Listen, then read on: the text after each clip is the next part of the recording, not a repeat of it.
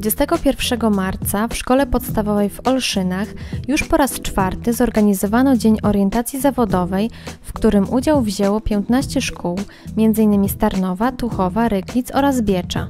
Jest to już czwarty dzień orientacji zawodowej w naszej szkole. E, Organizujemy go ze względu na to, że jednak jest bardzo duża potrzeba e, uświadamiać tych młodych ludzi, że e, wybór zawodu jest rzeczą istotną. W ogóle w tym roku bardzo dużo dzieje się w doradztwie zawodowym na terenie naszej gminy, ponieważ gmina przystąpiła do takiego projektu Modernizacja kształcenia zawodowego w Małopolsce 2.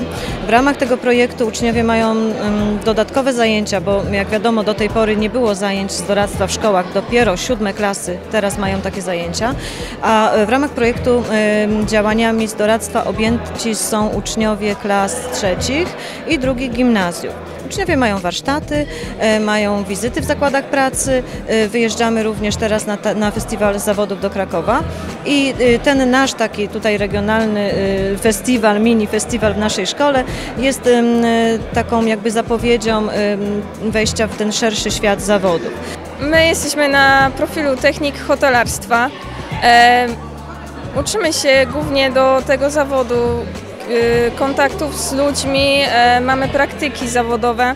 Szkoła organizuje dużo darmowych wycieczek, w których możemy nauczyć się dużo rzeczy i zobaczyć, jak funkcjonują prawdziwe hotele.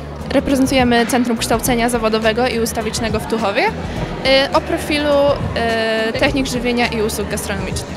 Y, Myślę, że poznajemy dużo metod y, produkcji potraw, w- ogólne wszystkie zasady, y, kursy, dużo kursów jest właśnie branżowych. Ostatnio właśnie skończyłyśmy kurs carvingu i bardzo polecamy, bo to jest naprawdę świetne. Y, Mamy do zaoferowania takie zawody jak budownictwo, energetyka odnawialna, bardzo taki przyszłościowy zawód, y, technik urządzeń y, i systemów energetyki odnawialnej, tak to się nazywa y, w całości.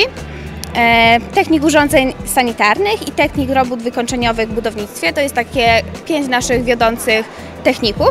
Nasza szkoła to nie tylko szkoła fryzjerska, jest to również e, technikum, jest to technikum pojazdów samochodowych, jest to technik e, mechanik, jak również technik usług fryzjerskich. Natomiast mamy również szkołę branżową pierwszego stopnia, jest to blacharz, jest to elektromechanik pojazdów, jest to fryzjer, mechanik pojazdów samochodowych oraz operator urządzeń przemysłu szklarskiego. Mamy y, świetne praktyki.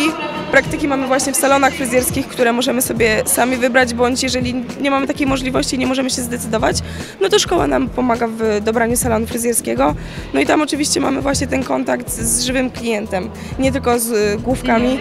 No i wydaje mi się, że po prostu no, jeżeli ktoś się naprawdę tym interesuje, to na pewno y, zachęcam do przyjścia do naszej szkoły. Jest bardzo fajnie, możemy zorientować się, jakie szkoły są i gdzie się znajdują.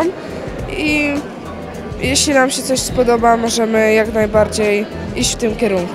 To jest super, jest dużo szkół, można wybierać.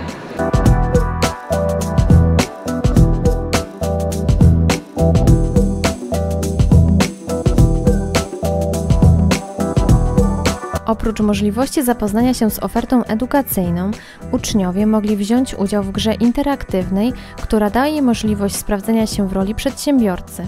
Młodzież wciela się takie trzy postacie piekarza, tkacza, kowala.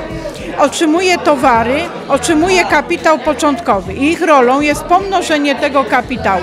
Wygrywa oczywiście osoba, która uzyska największe dochody z wypraw, które y, bierze udział y, w czasie tej gry. Mogę nauczyć się trochę handlować, tak jakby ubijać targu. No i zdecydowanie przygotowuje nas do dalszego życia i polega ona na tym, że sprzedajemy nasze towary, kupujemy nowe, a potem podróżujemy i na tym zarabiamy pieniądze. Mi się to osobiście podoba od dziecka, taką nutkę kapitali, kapitalisty w sobie miałem.